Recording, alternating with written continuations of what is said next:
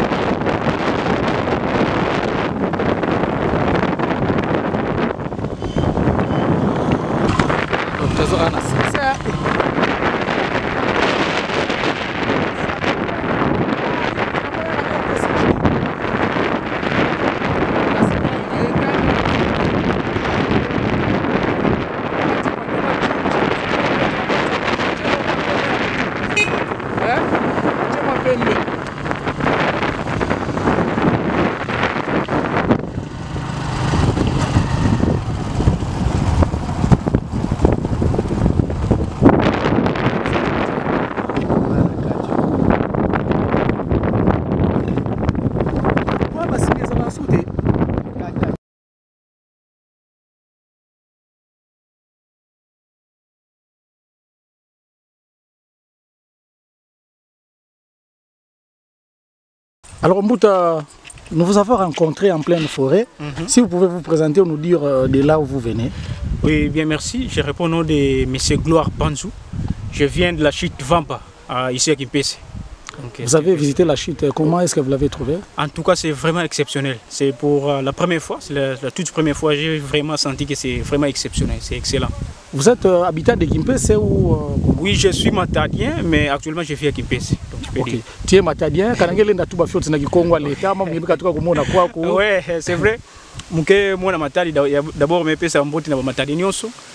Mumevona na kalankala.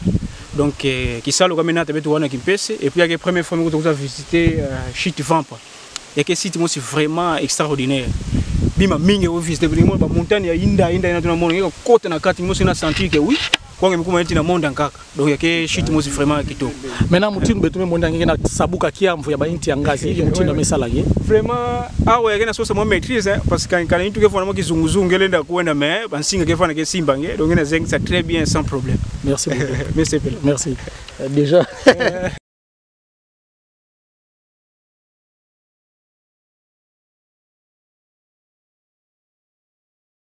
Eh, kombo na nga papa Sami awa tozali na mabele ya kimwana oyo nde couloir ya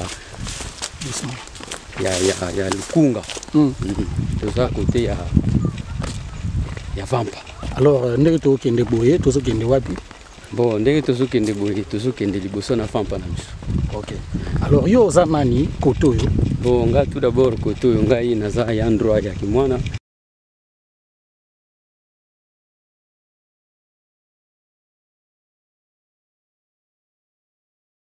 awa place tokoti nkombo nango nini bo awa tokoti awa eza esika ya babengaka vampa eh, shite touristique shite touristique yango ya vampa bakolo nango ezalaka banani Bo bakolo na ngo biso bayandro ya kimwana clan tumba mvemba famille mbona mm. ane alors euh, na euh, shit yango awa makambo nini elekaka awa eza shit touristique bayaka kotala shit ndenge ekelamo ya nzambe ndenge akelango mhm. en tout cas vraiment eza na esthétique moko malamu bayebisa biso liparike carte ya congo mpe ebima na libanga moko awa bon wana eza Creation ya, ya Nzambe ndenge Nzambe akelela yango eza misericordia ya Dieu.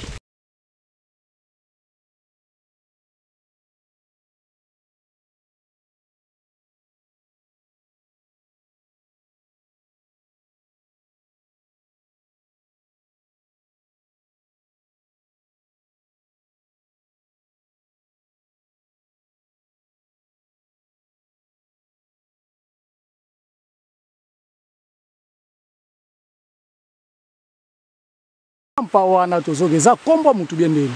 Bon vampa wana eza kombo mutu te mais eza eh, abréviation signification nango mpe ezali le va le kende mpa mpa wana eh, eloko ya sika donc eh, ezalaka ya kala te eza lokola nature de dieu ntango oyoki va kende kotala eloko ya sika donc eh, makambo ya sika ezalaka ya kala te ou bien cela veut dire vampa aussi tokoki kolobake non Eh, esika ya sika. Esika ya sika. Ah, eh. Voilà.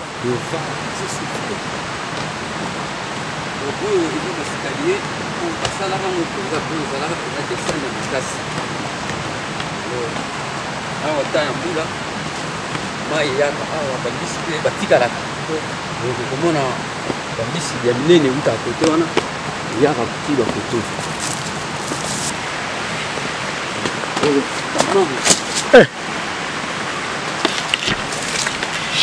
bamamanga oyo bamakabo mpe bayaka mais ifasuke nano eteli te baye baya ezangi alors oyo tomoni wana mbuta eza nini bon wana tomoni eza grotte eh, eza lokola ndako Mais eza na trou nango grotte lidusu eza kuna alors soki mbula ebeti bato bapusanaka mwa pembeni omona bamse protege me kuna na kati moye okota eza te mpo na nini bon kuna eh, fo ozala na kosengela na bakoko na biso bikotela te Tango okoti yo moko okomona bilili na yo kuna makambo ebele ale eko considere biso problème mais esengaka ke non okutani na ba ayant droit ale kuna sikoyo oza autorise ya kotala kuna na kati hmm.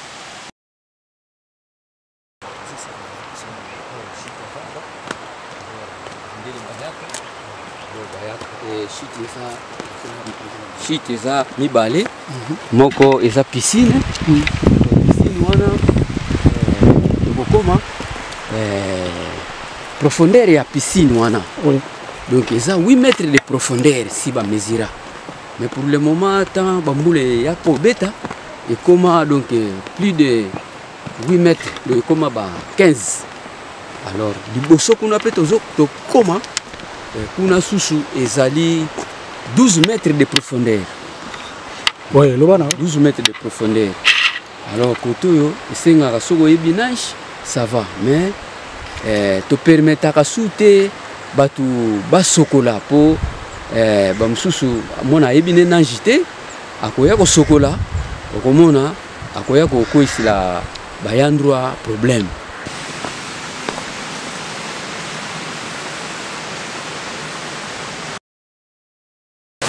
te zonga mwa moke nsima boma ndambo eh. nde eza ko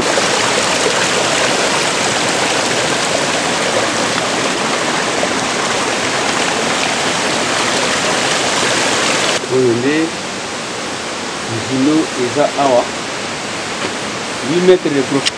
Oyo nde eza awa. Nzindo nango eza 8 mètres de profondeur. Na serie wana 1954 ba mesura.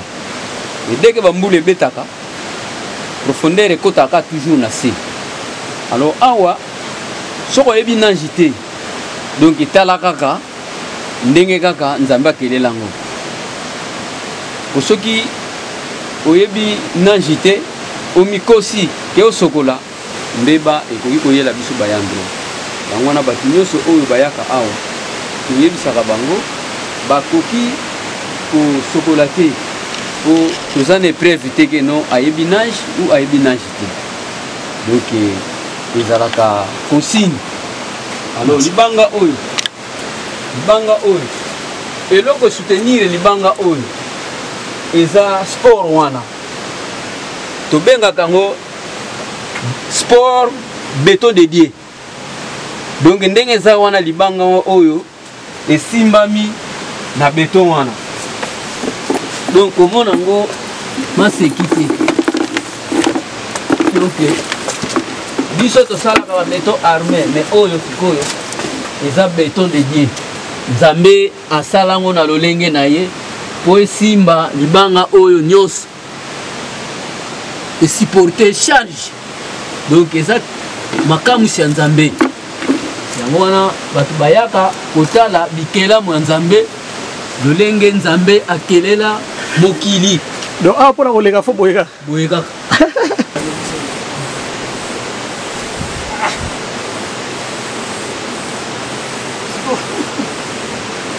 mobamba oyo yango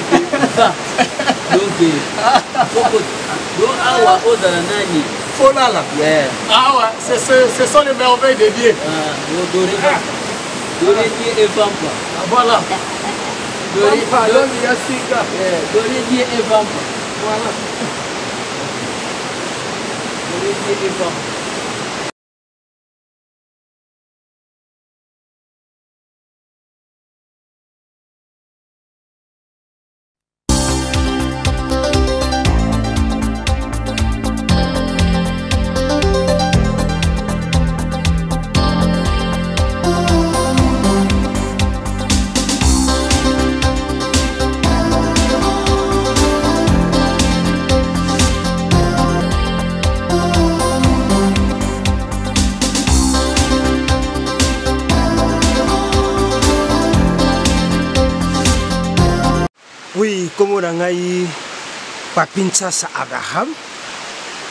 Awa toza na mboka Kempese na na shit eh, ya Vampa.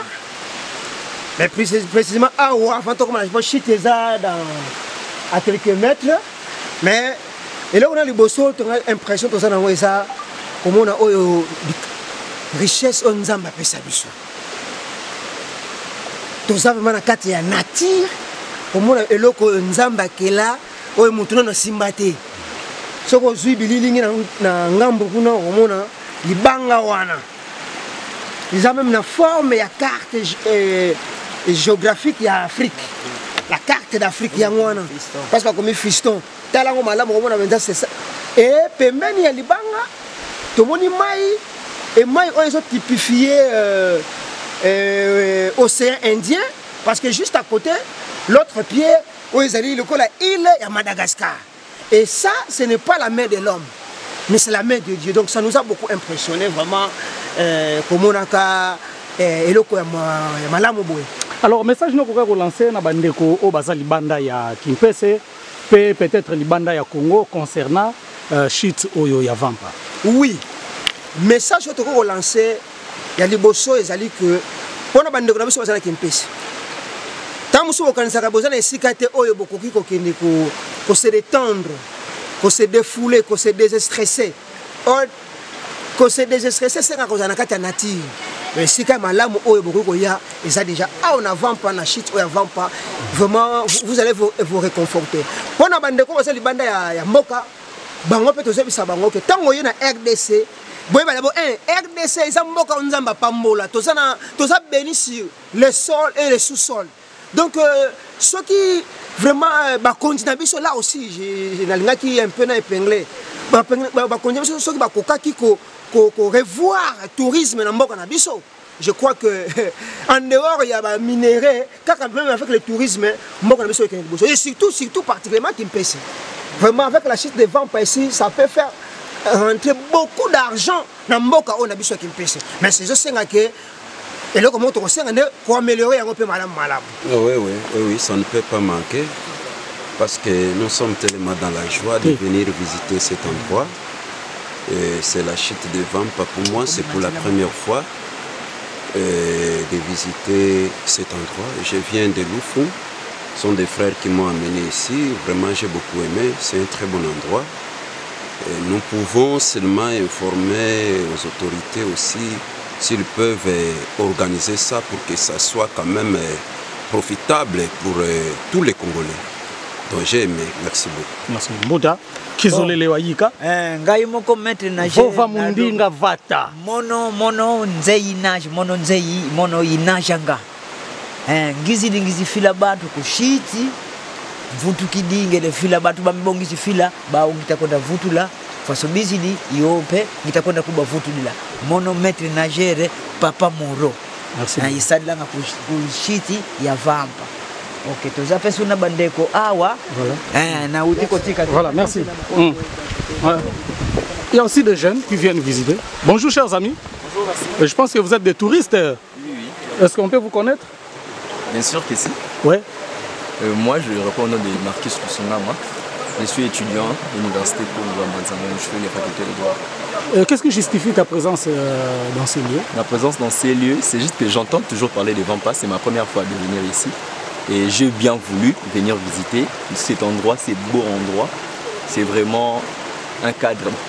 c'est vraiment un, un, très bon endroit, un très bon endroit pour visiter et ainsi de suite. Les messages ne manqueront jamais. En fait, pour les amis, en fait, ne, restez pas seulement enfermés dans, des coins où vous connaissez déjà.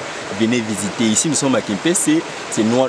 Le Vampa n'est pas loin de Venez, venez visiter Vampa. C'est vraiment très beau. C'est vraiment très beau. J'ai pris des photos, en tout cas, c'est vraiment très beau. Et euh, de la part des autorités, je dirais, vous voyez, ces, cadres, c'est un bon cadre. Et j'aimerais inviter le ministre, le ministère du Tourisme à venir implanter aussi le secteur ici présent. Cela fera en sorte que les personnes visiteurs qui viennent de loin, qui viennent ici, qui, viennent de, l'étranger, qui viennent au Congo, pensent aussi qu'il y a un vent pas à Kimpe, c'est au Congo central, et on remarquera que l'économie du pays, l'économie de la province pourra aussi s'élever. Merci. Merci beaucoup. On n'a pas vraiment grand chose à dire, on a déjà pressé. Voilà, merci. Donc ça a été. Merci. Ça a été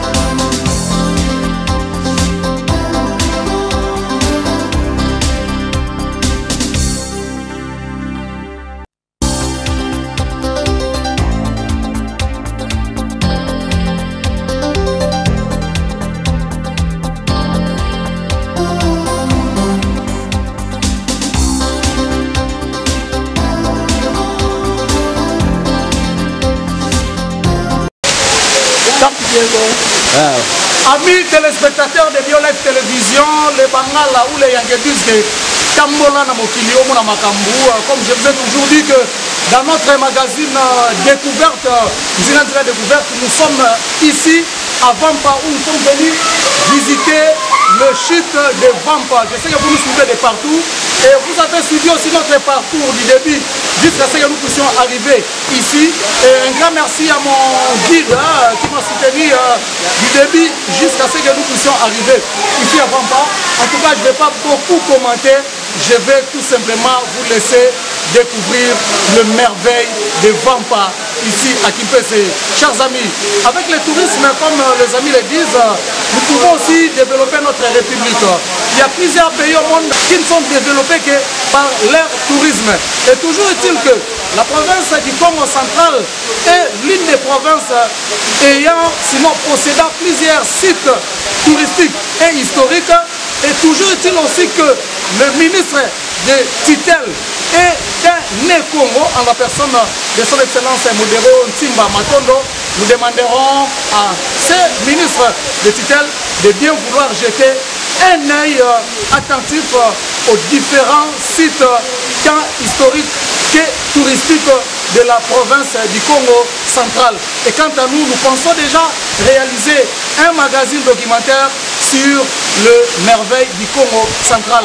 Un élément que nous allons commencer avec euh, euh, la cité, disons par la cité de Kassamoulou et pour aller chuter à Banana.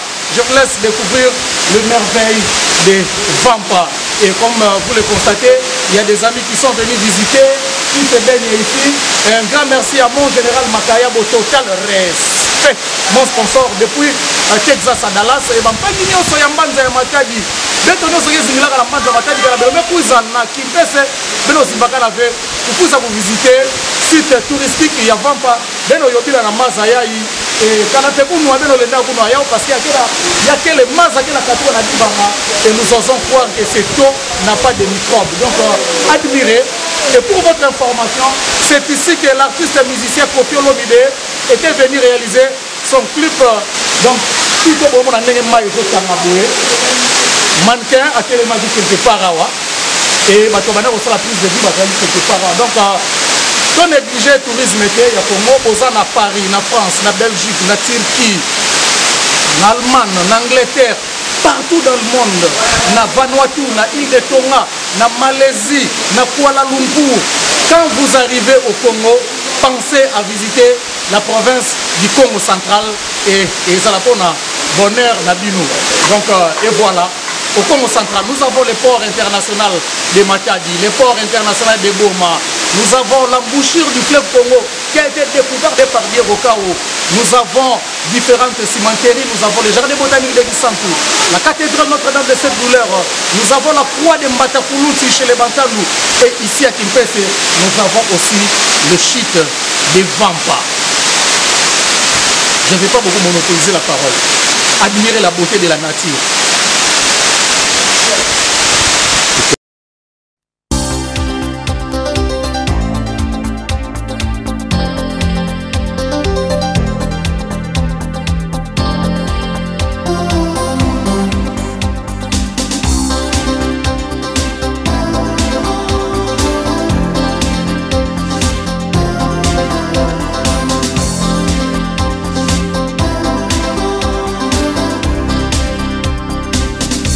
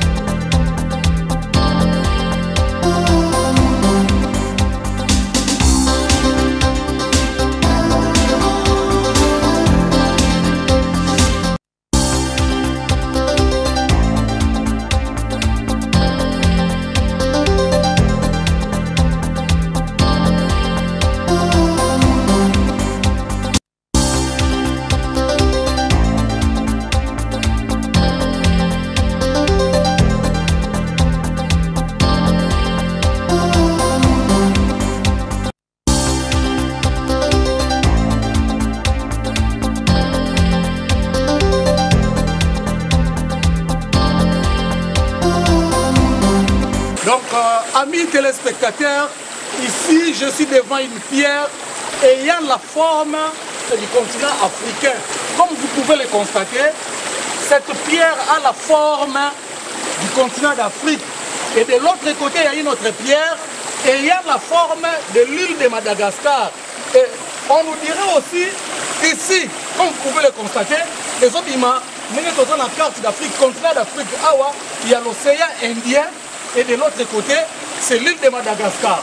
donc vraiment c'était merveille Uh, nous sommes bénis bandeko tosazardaka te vampa nde makambo voilà kitoko na kitoko karte yango alors oyo makambusi ya nzambe tobangaka nzambe ah, madagascar na ah. makambusi na ye oyo asalelaka na mokili oyo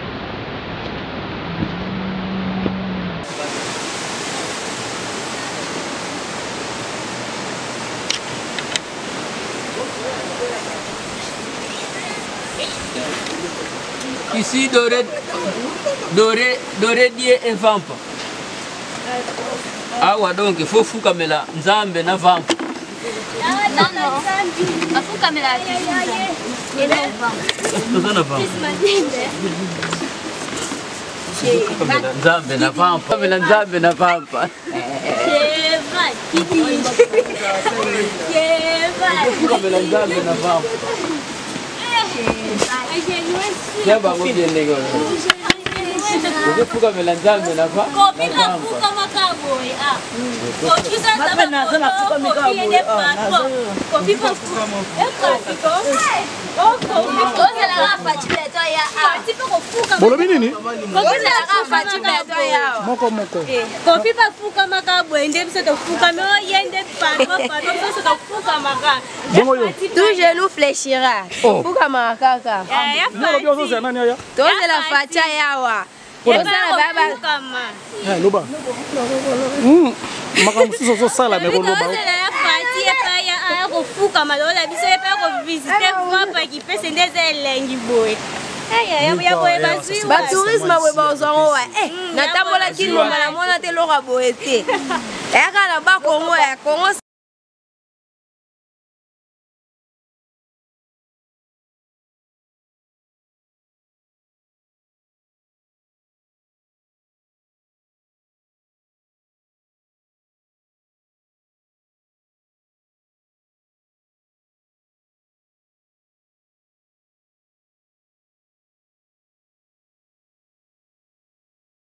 Uganda na opada tika fele de kibala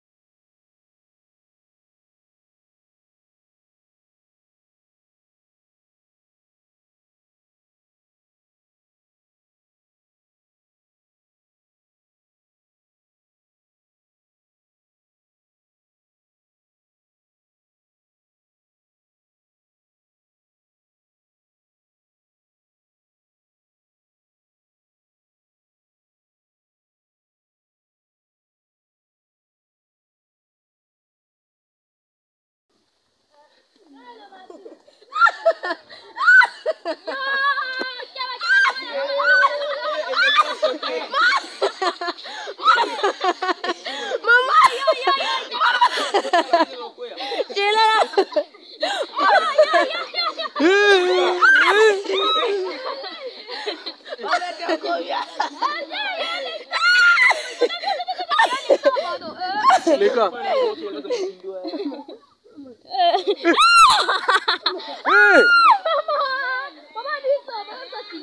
babiso da tomesala place ya boye kitoko banini talaka mwa tu maîtrise mpe eza nango déjà bakobanga malgré eza nango me tala kaka nde toyebani kaka na mokili yango bateti toleka kaka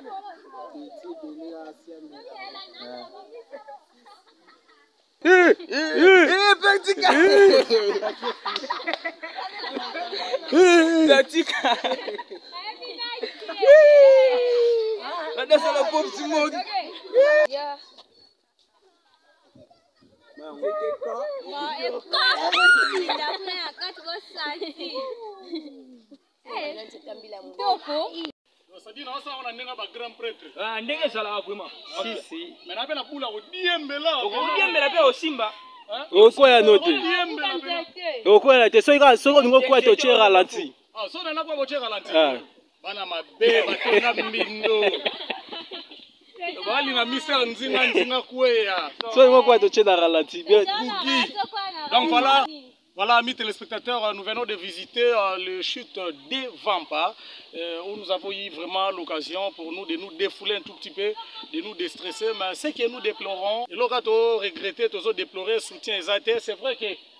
babisika ya boye ba escalade ya boye esengeli ezala mais quelque part esengeli quand même nzela mpe ezala epesa accès na mituka to bamoto ti bisika towuti malgré towuti kuna bisika mosusu a tout genou fléchi hein, donc euh, voilà nde nauti oloba eza likambo bamerveille ya province ya congo central moi c'est herve loso mister nzinga nzinga 7 contre 1